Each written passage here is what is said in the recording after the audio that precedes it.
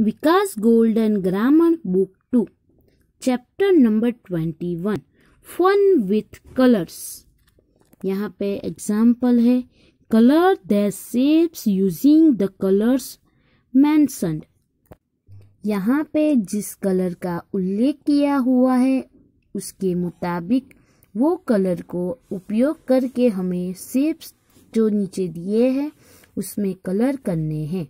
यहाँ पे पहला दिया है सर्कल। और यहाँ पे सर्कल के अंदर ब्लू कलर करने का मेंशन यानी कि उल्लेख किया हुआ है। इसलिए सर्कल में ब्लू कलर करना है और ब्लू सर्कल। उसके बाद दूसरा सेप है ट्रायंगल।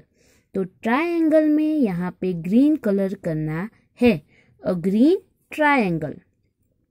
उसके बाद स्क्वायर जो है उसमें पिंक कलर करना है और पिंक स्क्वायर।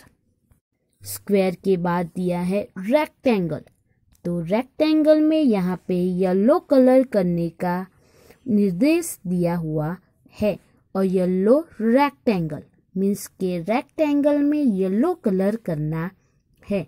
उसके बाद है स्टार स्टार में पर्पल कलर करना है और पर्पल स्टार और आखिर में जो है, क्रॉस उसमें रेड कलर करना है। और red cross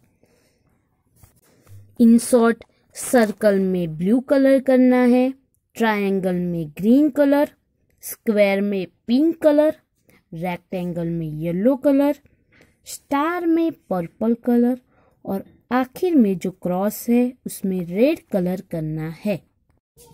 यहाँ आप देख सकते हो कि किस तरह दिए हुए निर्देश के मुताबिक शेप्स में कलर फील करने हैं।